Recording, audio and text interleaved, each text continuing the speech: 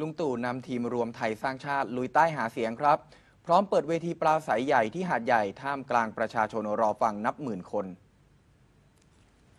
พักรวมไทยสร้างชาติได้จัดปราศัยใหญ่เป็นครั้งแรกในจังหวัดสงขลาครับ โดยมีพลเอกประยุทธ์จันโอชาในฐานะประธานคณะกรรมการกำหนดแนวทางและยุทธศาสตร์พักรวมไทยสร้างชาติ และเป็นแคนดิเดตนายกรัฐมนตรีพร้อมด้วยคณะ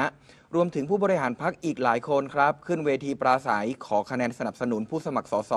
พักรวมไทยสร้างชาติ โดยเวลา 14 นาฬิกาค่ะ ก็ได้เริ่มปราศัยที่โรงเรียนบ้านเขาพระอำเภอรัตภูมิค่ะ มีการแนะนำและเปิดตัวสมาชิกพักกล่าวปราศัยชูนโยบาย บัตรลุงตู่บัตรคนจน เอาใจชาวใต้ค่ะ พร้อมอ้อนขอคะแนนเสียงจากชาวรัตภูมิ ให้เลือกเบอร์ 7 ผู้สมัครสสเขต 5 จังหวัดสงขลาซึ่งบรรยากาศนะคะก็เป็นไปอย่างคลึกคลื้นค่ะ มีประชาชนมารอต้อนรับ รอมอบกระเช้าและถ่ายรูปเซลฟี่เป็นที่ระลึกกับลุงตู่นับพันคนค่ะ จากนั้นนะคะในเวลา 17นาฬิกาค่ะพลเอกประยุทธ์จันโอชา พร้อมสมาชิกพักค่ะได้เดินทางต่อไปยังบริเวณ ที่ดินแยกสะพานดำอำเภอหัดใหญ่จังหวัดสงขลาเพื่อขึ้นปลาสายใหญ่ มีผู้สมัครสสทั้ง 9 เขตสงขลาร่วมขึ้นกล่าวปราศัยด้วย ท่ามกลางประชาชนที่มารอต้อนรับ และร่วมฟังการปราศัยนับหมื่นคนค่ะ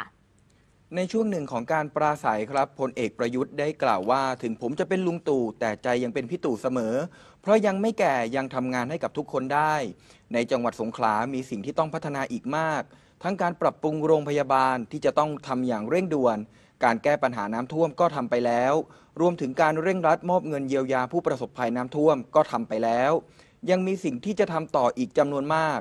มั่นใจว่าทุกนโยบายของพรรคนั้นทำได้จริง พร้อมอ้อนขอคะแนนเสียงให้คนสงขลาสนับสนุนผู้สมัครสสในพื้นที่ และขอเสียงสนับสนุนเลือกเบอร์ 22 หมายเลขพัก เพื่อให้ตนเข้าไปเป็นนายกรัฐมนตรีจะได้สารต่อสิ่งที่ยังทำไม่เสร็จ จะขอทำแล้วทำอยู่ทำต่อและทำใหม่ครับ